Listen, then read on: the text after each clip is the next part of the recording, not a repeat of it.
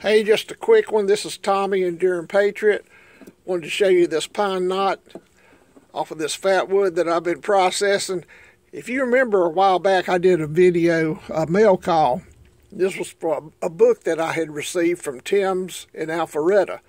He sent me a book, and one of the chapters in it was talking about being a pine knot millionaire. So I just wanted to show y'all some of my fortune here. Yeah, I'm a pine knot millionaire. This thing is chock full.